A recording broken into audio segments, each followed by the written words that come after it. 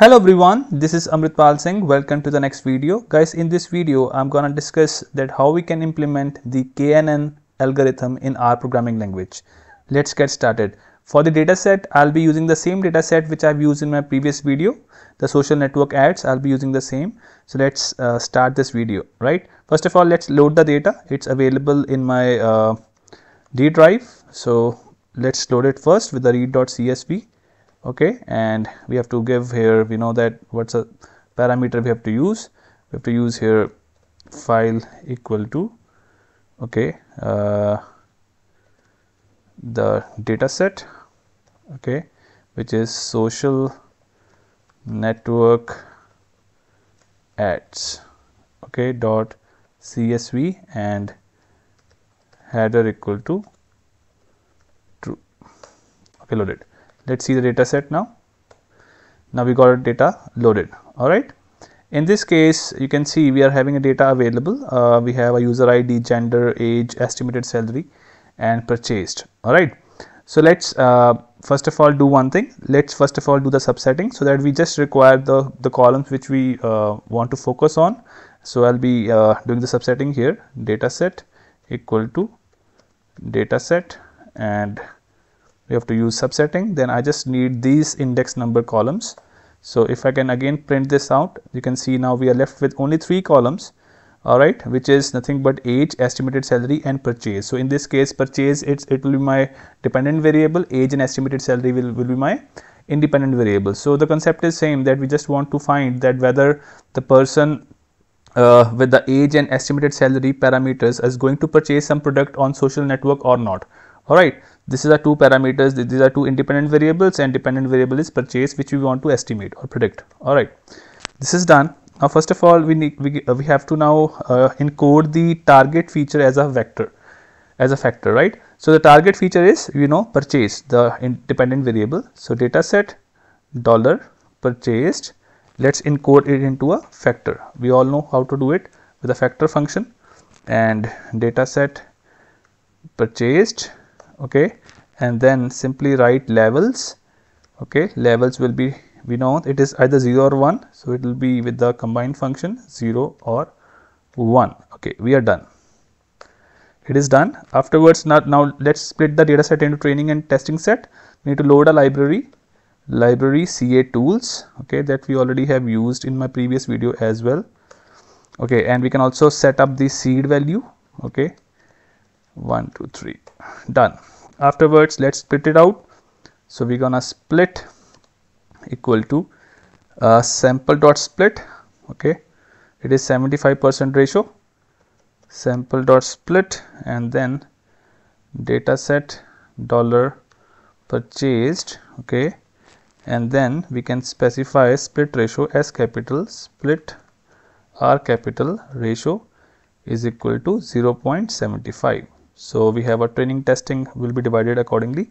So we are having training set okay equal to subset function. And we're gonna now divide this whole data into two parts uh, training and testing. Data set comma split is equivalent to true. And the same statement we have to repeat for testing set as well. It will be false this time around. False. So this is done. Afterwards we just have to write here testing set. Testing set. Okay all done. So we have a training set and testing test set available. We can i can show you which we are more concerned with testing set. This is a testing set available. Okay we have divided this accordingly. And in the same way we can check our training set as well.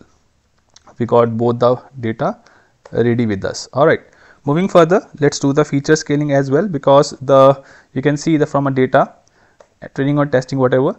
You can see this this salary column is a bigger value right? At the age column is a smaller value. So i want everything on a same scale. For this we're going to do the feature scaling. Okay so we have to remove our last uh, column because this is the dependent variable. So minus 3 means we are dropping that out. And afterwards we're going to use scale function and in which we're going to use training set okay and uh, specify minus 3 and same we have to do for the testing set as well. So, same we can use testing set minus 3 equal to scale and testing set minus 3 okay we are done. We are done the, with this. Scaling has been done. Now next step is to apply the knn to the training set and predicting the test set results. For this we're gonna use the library which is called class. In case you don't have this you have to just install with the install.packages function. Okay for this now we're gonna predict that. So i'm gonna use this as a variable name equal to knn as a function. It has got multiple parameters. First is train parameter in which we have to pass the uh, training set. Okay training underscore set minus 3 okay here we have to put everything over there except third column. Okay then we're gonna have test second parameter in which we're gonna put it out the testing set. Okay and do the same thing again comma minus 3 okay afterwards what to do? We have to use cl parameter. Cl means here to pass the dependent variable because this classifier also required the dependent variable as well. Because accordingly it will do the approximation. So here we have to pass with the training set training set okay and we can specify here the column name which is 3 okay. So 3 will be there now all right and last one is number of neighbors. So it will be defined with the help of k. Number of neighbors i want it as 5 and I guess we are done with this. Let's see if it's working or not. I'm again repeating. The main function is knn in which the first parameter is train in which we are passing training set by ignoring the last uh, uh column which is a dependent variable. Again test as a again we are ignoring the third column the, for testing set. Cl meaning is we have to pass in uh, here the dependent variable which is my purchased and k equal to 5 means we have want 5 neighbors. Okay we are done. I guess we can check now the results. What we got this is the results we got in which we got the answers 0 1 0 1 and let's also compare it with the training set. Sorry testing set. So testing set okay. All right. This is the data we have. This is the like uh, vector we got from pred okay. You can check now. So we are having first five i guess zeros. Here we have first five zero one two three four five. Then we have three ones. We have four ones I, I, guess I've already told you multiple times in my previous video as well because no algorithm is perfect. So we may get some misclassification as well, but you can see uh, the we can have we have checked from the first I guess seven or eight they all are looking good. We may have some misclassification as well. We, we can check with the help of confusion matrix. Let's do the let's make the confusion matrix the last point of today's video. Okay, confusion matrix.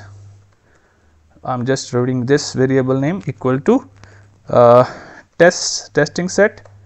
Okay and here we can pass the third column okay which is uh, which we gonna uh, uh, which is a target variable which is my uh, we can say the dependent variable comma. The the the previous uh, we have used it was let me check.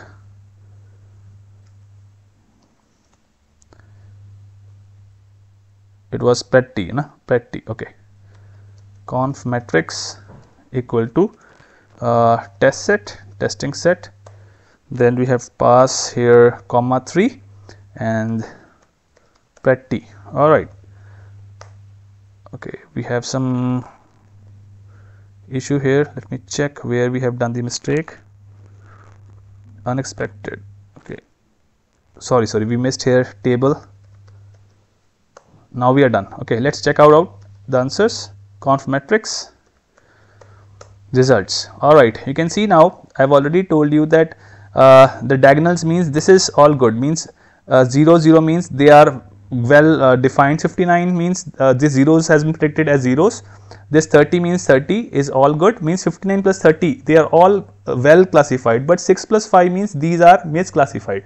It means out of all the uh, data we are having only 11 got misclassified but remaining this 89 all done well. Because of because we got 100 in testing and remaining we got in training so out of 100 11 got misclassified but all our others are uh, well classified. I hope you must have understood from this video that how we can implement knn in r. In case if you have anything to uh, comment on you can just comment on this video. Thanks for watching guys. See you next video